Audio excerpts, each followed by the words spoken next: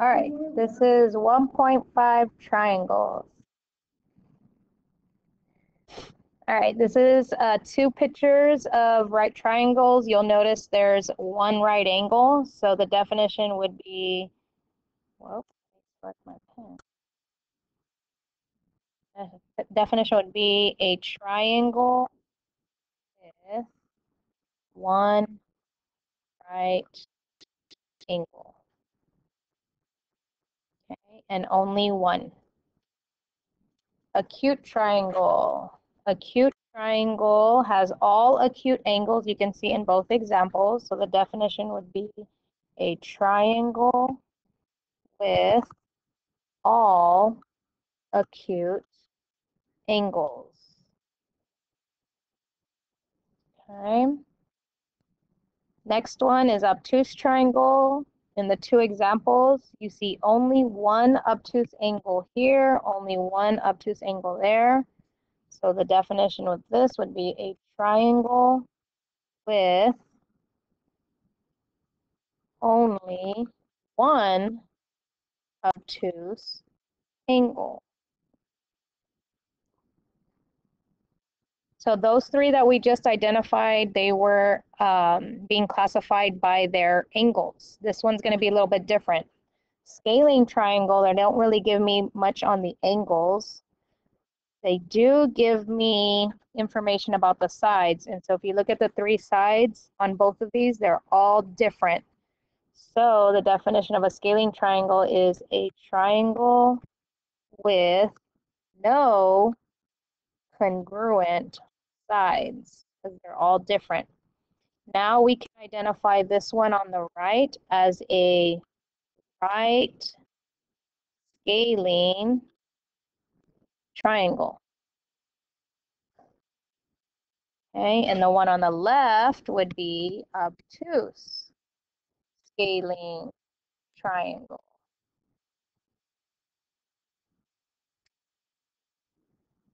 Okay, so there's that one. Next one is an equilateral triangle. You'll notice that all the sides are equal. So, and we talked about what equilateral means in the 1.4 polygons.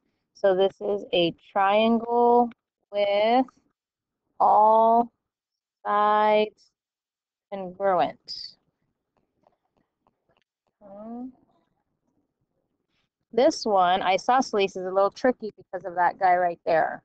So on this definition, you have two sides equal on the other, and this one has all three. So the definition is going to look like this. A triangle with two or more sides congruent or equal. Congruent and equal mean the same thing.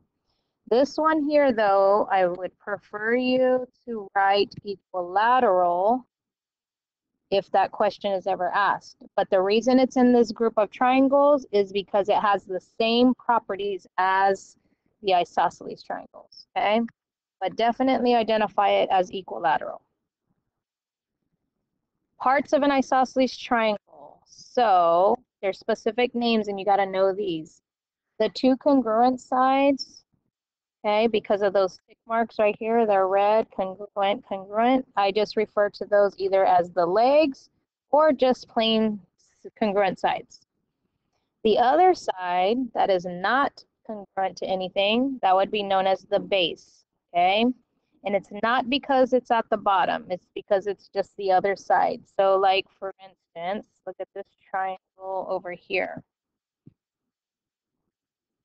That's isosceles, but the base is now kind of on top.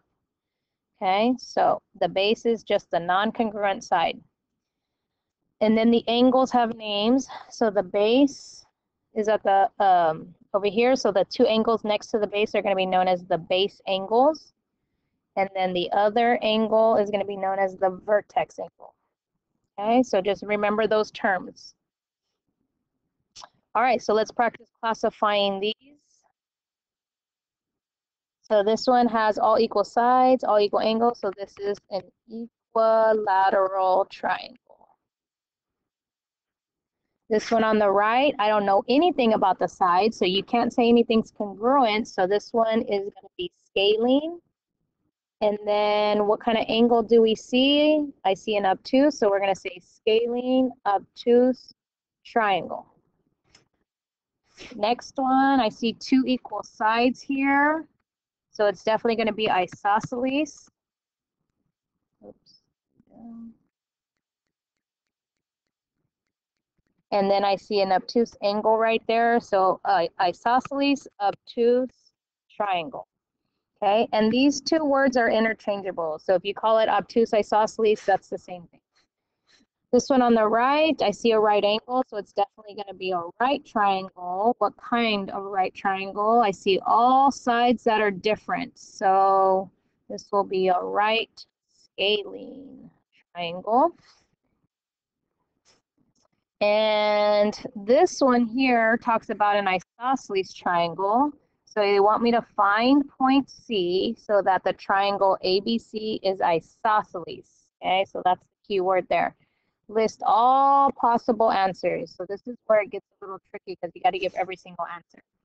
So the first one that you probably notice is if I stick a point right here in the middle, and then I connect these two to here, like so, would you say this piece is congruent to that? Absolutely. That is a possible answer for point C. Then we probably notice, well, I could probably do the same thing down here. I could connect A to that point, B to that point, and those also look congruent. Okay, by now you're probably thinking, oh, all of the points on the y-axis would work out. Right, so how do we write that down to include every single one of those points for point C? Well, this point here up top is 0, negative 4. The one down at the bottom is 0, negative 7. And if you keep selecting any point on the y-axis, it's going to be 0, any number. So that's how you're going to list the first answer. It's going to be 0, any number, but you don't want to write the, those words down. We're going to write the letter y because that represents any number. Now, there is one point that it cannot be this one right here that I just colored in green. That cannot be point C because it's on the actual segment. So it can't be just any number. You have to say y cannot be negative 1 because if it's negative 1, then it won't create a triangle. So this is a way to include a lot of possible answers by using variables.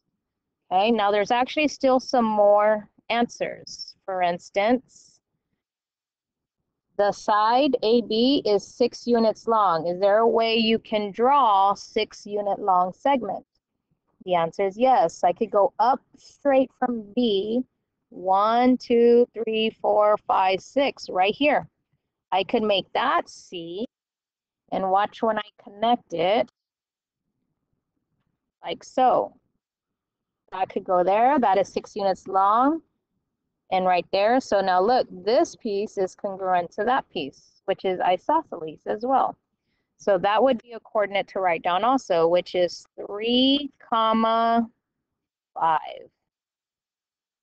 Okay, you can probably think, oh, I could draw it on the other side too. Correct. So right here, you could do that, connect it, connect.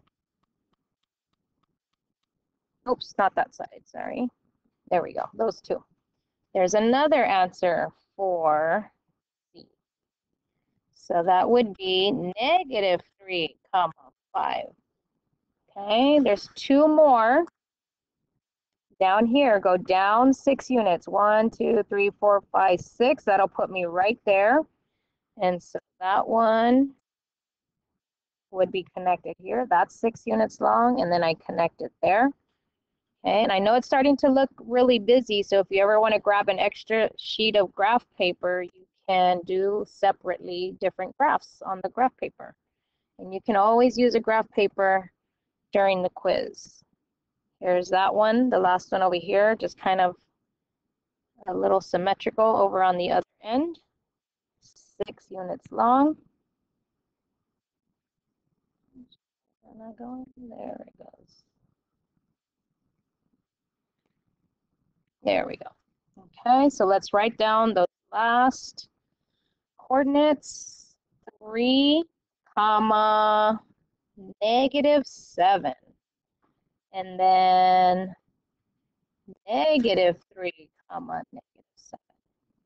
So those are all the possible answers. So we took care of that right there. All right, let's go to some constructing of triangles. So this one here, you construct an equilateral triangle and it says to name it GAL. So obviously, and it says to do it on, so that's the key word, on the segment, okay? Because sometimes I want you to do it away from the segment. This one says on the segment, so make that noticeable. Okay, so equilateral means all three sides are equal. So the main thing you want to do with your compass is get the size of that segment, okay? Exactly. And then kind of always ask yourself, well, where is, if I call this point G and point A, where is point L going to be? Probably somewhere over here. And sometimes it's okay to do a sketch. That kind of looks equilateral, right? So you know it's going to be somewhere over there. The other possibility is probably up here. Well, that's going to probably end up in the letter, so I really don't want to draw it that way. So you got the measure with your compass. You're going to put it here and make an arc over here because remember you're copying this segment basically. And then you want the other third side to be the same size, put it on the G and make an arc. So now you can get your ruler and connect from G to that intersection point and that'll be a segment of the triangle and then one more and there it is. Okay, and you could even, if you wanted to, you could kind of measure them in centimeters and you'll see they end up being the same. Okay, and then don't forget to label that one point L. Okay, so I'm looking for two arcs on this one. Okay, two arcs for that equilateral. Would you probably do an isosceles triangle in a similar way? Yes, you would. Okay, so if you practice constructing isosceles triangles, um, that's the way you would do this also because these two sides are going to be equal, which is why the equilateral triangle is in the isosceles category because again, they're they got the same properties. Okay, last one, construct this triangle given these specific parts. Um, we have an angle, we have, and two sides. Now, here's the key thing. You notice this is an R. Where else do you see an R? That's the angle that's going to go uh, pretty much on that point, okay? So the first way you want to start this construction to create this triangle is probably to start with either angle R or the side that includes point R. You don't want to start with side QS because you don't know the measures of angle Q or S. Okay, so I'm going to start off with a side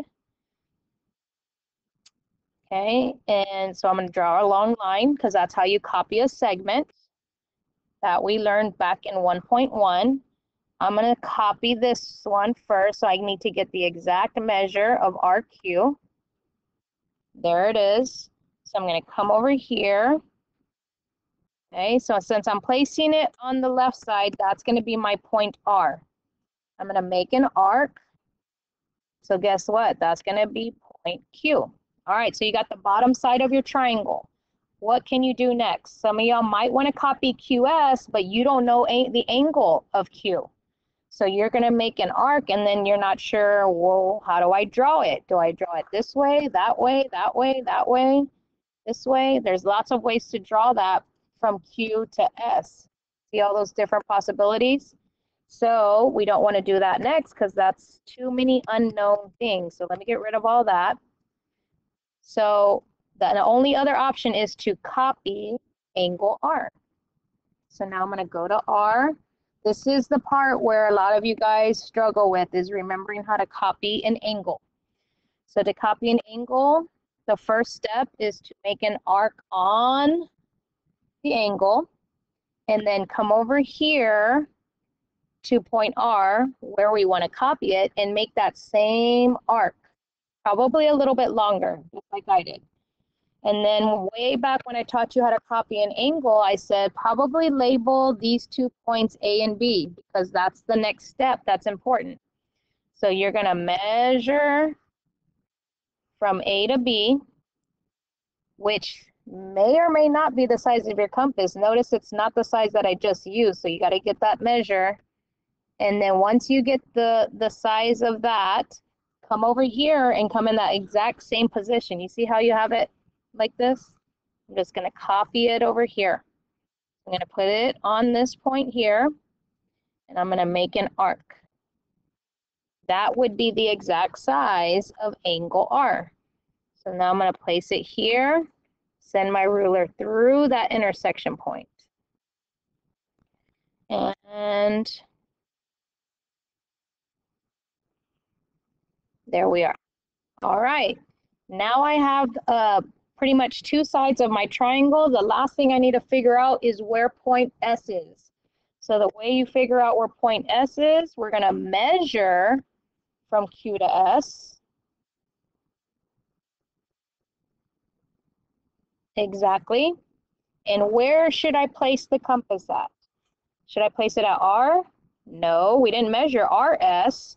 We measured QS. So you're gonna place it at Q and then the compass will lead us to where point S is going to be. There it is right there. That's where point S is going to be because that's the exact size. Now, some of y'all probably came a little lower. That's actually correct too. So there's going to have two possible answers. So it doesn't matter which one you pick. I'm going to just pick the bigger one because it's not a big deal. So make an arc right there. There we are. And then now all you have to do is connect Q to that intersection point.